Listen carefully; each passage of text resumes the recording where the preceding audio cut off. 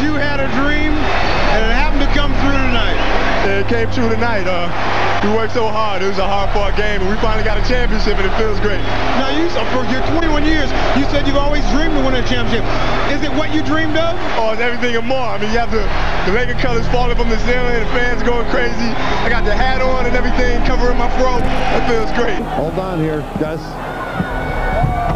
Well, a little Barry in him from the slam dunk contest. And uh, off the court, Cole was uh, all business, man. He was serious at like 16 years old, which was crazy to me because at 16 years old, man, you just want to be a kid, right?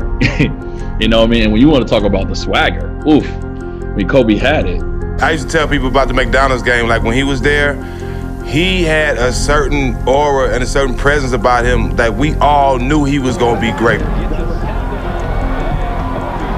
And that was the first time I started to see someone that had, you know, the mindset, you know, mm-hmm. of a mm-hmm. killer. Well, yeah, I think a lot of it um, had to do with um, isolation. Growing up over there and being the only uh, African American kid, not being able to speak the language, I gravitated towards the game. And in that game, you find a lot of, uh, you find solace in the game throughout the course of my life, it's always been that. It's always been the outsider having to come in and prove, you know, or, or to seek some sort of vengeance when I play. Like, I, I mean, I've been around a lot of great players, right? But I ain't never been around somebody like him that just had kill on his mind all day and all night. Like it was basketball 24 7. You know what I mean? From day one at like 16, 17 years old. But that just told you his mindset of the game at, at a young age. Unfortunately, because of the lack of communication with my peers, I wasn't invited to parties or you know friendly, friendly gatherings on the weekend. So on Fridays and Saturdays, I would go in my rec room with my basketball and basically dribble myself to sleep. he was practicing that pregame. And then when you play with kids that you know, might not uh, accept you, because you're an outsider. It was many times where, you know, we were sitting, sitting in the room and we, we would just have just random conversations about guys we were playing against uh, the next next day in, in the AAU game. And his mind was on the NBA. Uh, Kobe Bryant have decided to take my talent to uh,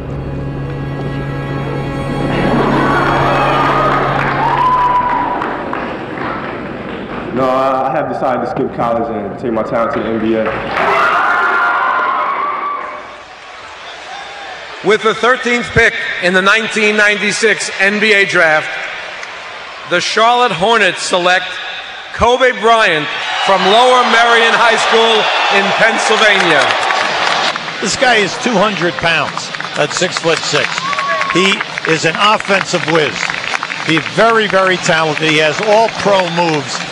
And when when you you look at him, you're talking about a young man with range. He can go off the dribble. He can get his shot. And in every place that he worked out, nothing but raves. No one talking about any shortness or a weakness in his game. You know, you get drafted, you get on the phone with the GM of the team that drafted you and all sorts of stuff. So I get on the phone with Charlotte GM, and he just tells me, hey, you know what's going on.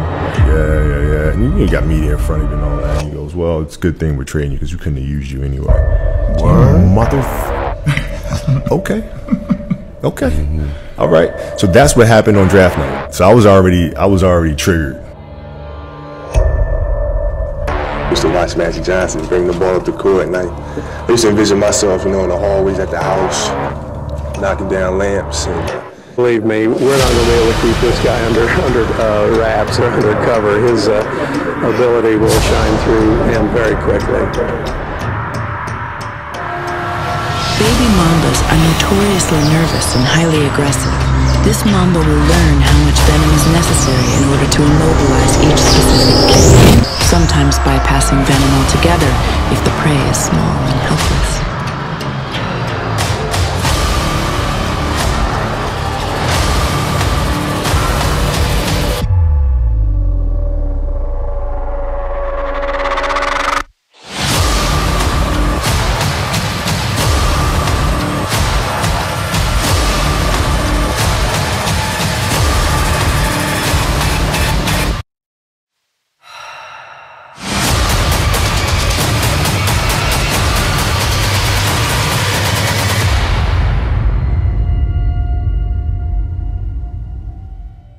Remember what you told me one day in the forum when I first met you? You said you were going to be the finish it for me. What the greatest player of all time? Yes. You remember you told me that? No, but that sounds that sounds something. No, that you sounds like it. something I would say. But for me, when I got into the league, Kobe Bryant was the bar. You know, he was the greatest player in the game uh, to me uh, before I got in the league. But definitely when I got there, I mean, he was someone. I think he was 24 years old at the time when I got in. He had three NBA championships already.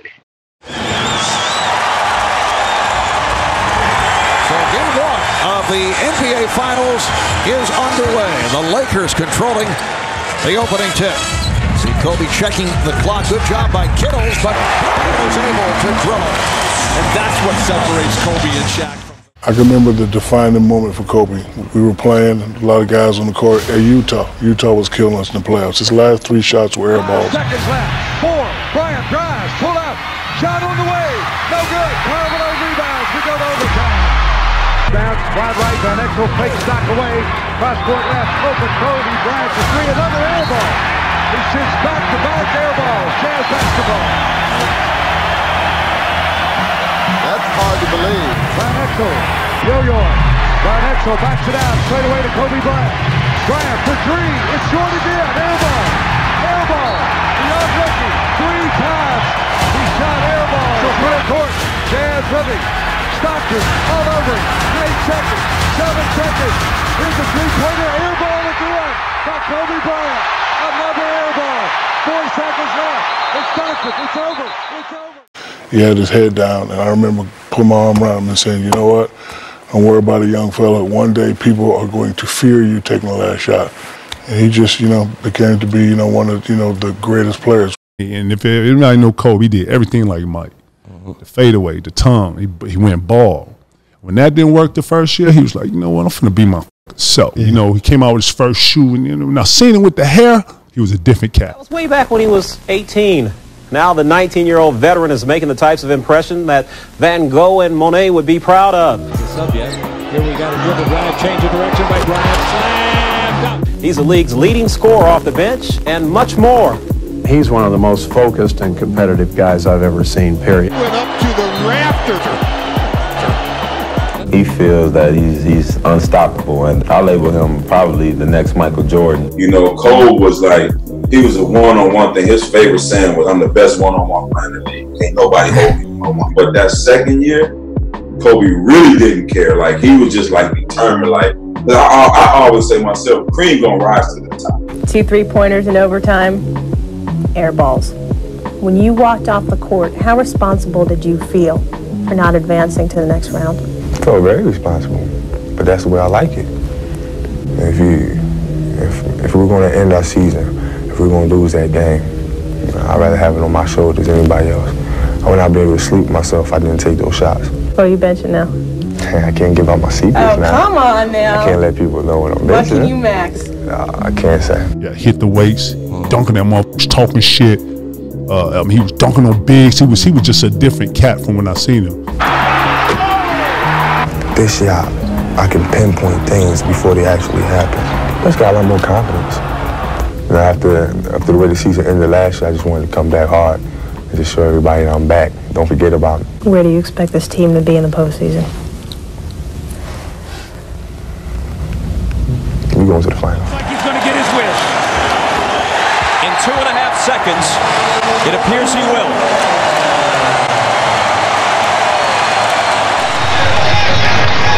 Jackson looking to throw it in against Shaq.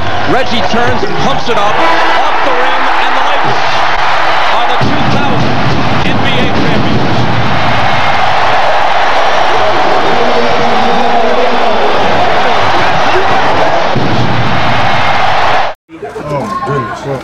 What's up? Oh my god. This is the end of your video right here. This is it. Fellas. You work all year long for it, man. Shaq the man, most dominant player in the world.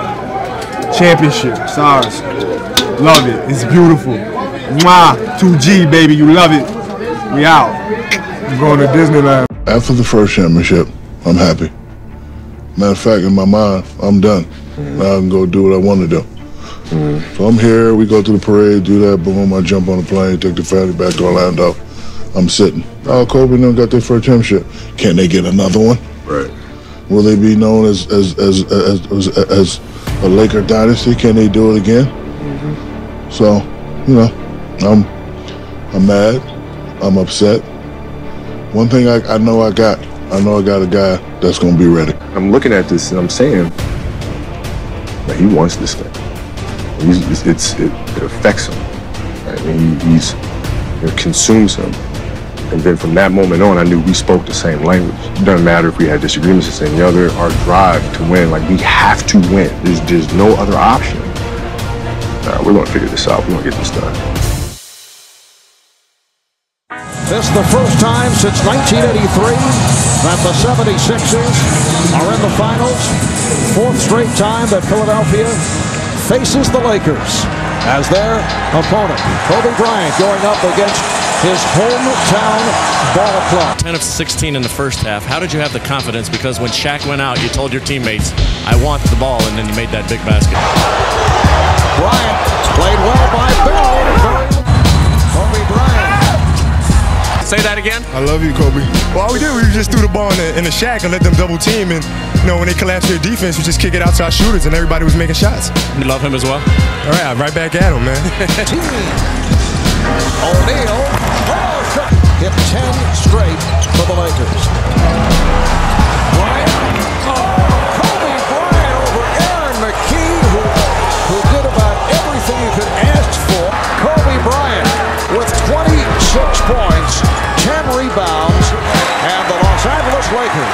Make it a second straight NBA crown.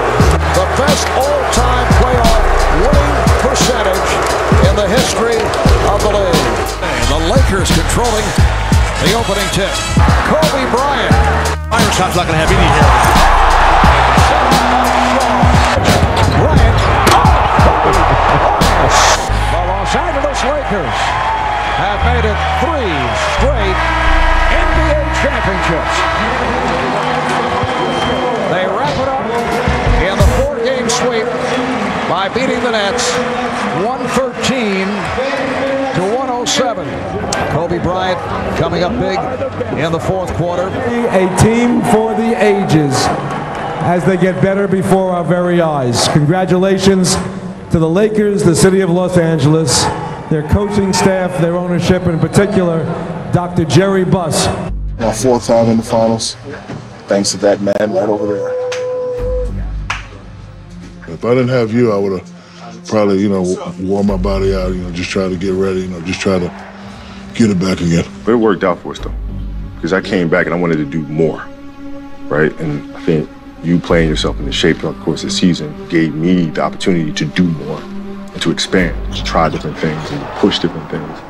And then when you got in shape, it was hard then to try to fulfill, to try to dial that back. Right. Right? Because I'm out there going 40, 45, 50, all sorts of stuff. It feels like, okay, we got to rein you back in now. Rein me back in for what? No, no, I'm not getting reined back in. No. There was so much conversation during the Shaq years. Were you guys friends? No.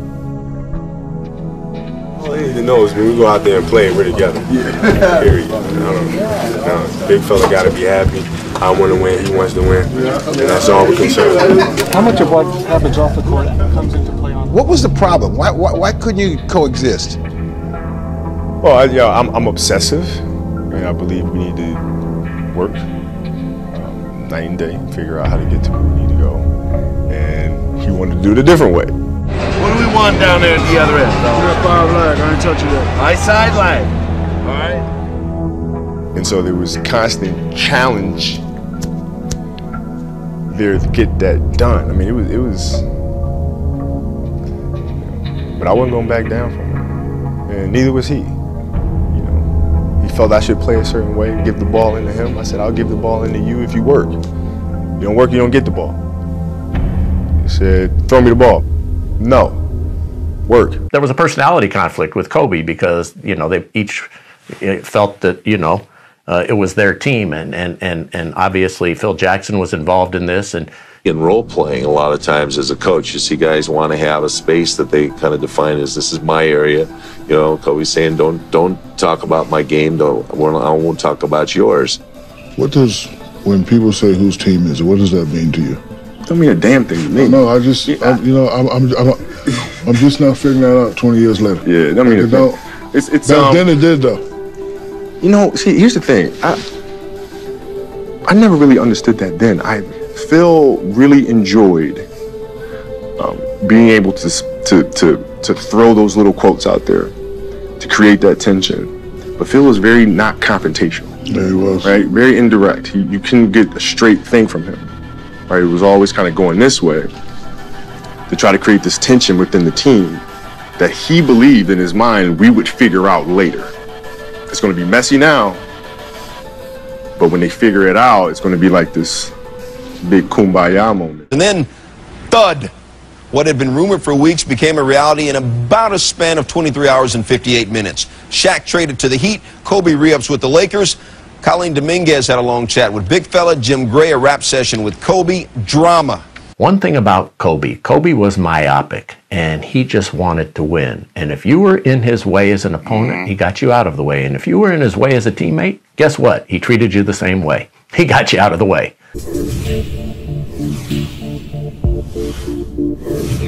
I remember watching Crazy Jim Gray, and Jim Gray, yeah, Kobe said, "Why should he have to?" right? So that was you know, one. I was man, I, I couldn't, I couldn't drive to practice fast enough. Now that this was me at my craziest. This is this is what I'm thinking. I'm going to drive to practice. We're going to fight. It's going to be awesome. May get beat to a pulp, but God, you know what? It's going to be a good one. It'll be a good one. And that's what I came to practice, completely expecting that to happen. And I think, I think B. Shaw might have calmed, calmed everybody down. yeah. he was waiting. Yeah, yeah, he yeah. was waiting. No, funny thing is, I saw the article the night before. Uncle Jerome usually meets me at the house so we can ride together. So he wasn't there, so I wanted to beat him anyway. So I left the house at eight. As soon as I get to the radio, he like, I knew I knew the fire that I lit. I knew what I said, and he knew what he said. You knew what you said. And you said, okay, this is it.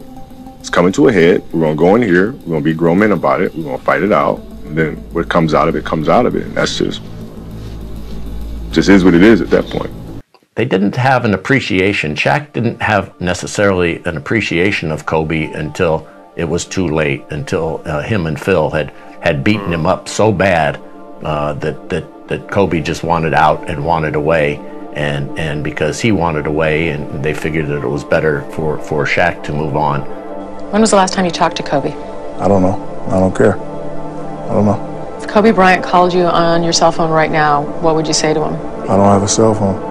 Kobe Phil Jackson has left the organization and Shaquille O'Neal. It's a wide-ranging perception in the public that you were at the controls. How much did you have to do with both of their departures? Oh, zero. Nothing. But, you know, people's perception always want to run with the biggest story. What do you think of Kobe Bryant as a person? Doesn't matter what I think think about him as a person. When I was out there on the court doing my job, I played team ball. Could it have been worked out between the two of you? Could you guys have coexisted? Yeah, oh, absolutely. No, we have. no, we've had our spats, we've had our share of arguments on the floor. Um, you know, for various reasons. He, you know, used to get mad at me for not playing team basketball. I used to get mad at me because he wasn't in tip-top shape.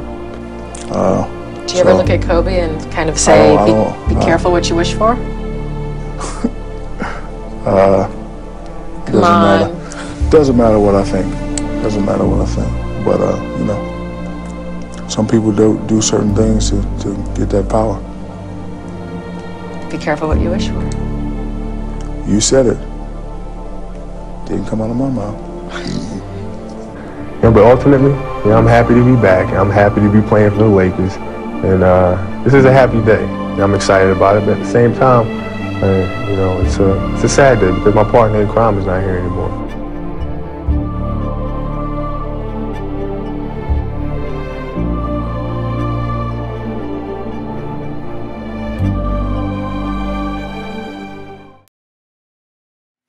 Obviously tremendous highs with those uh, uh, three-peat championships, and uh, uh, to see that excellence of one of the greatest tandems in the history of of, of basketball. Uh, but they also had some some really, really, really low lows. Saying, listen, if, if this is the conversation, I don't want this conversation.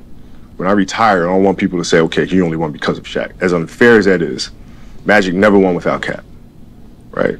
Michael never won without Scottie. So, but here I am getting stuck with this argument, which is not fair, but yet this is the argument people will make, and I'm not okay with that. And so therefore I knew, okay, I gotta, I gotta go.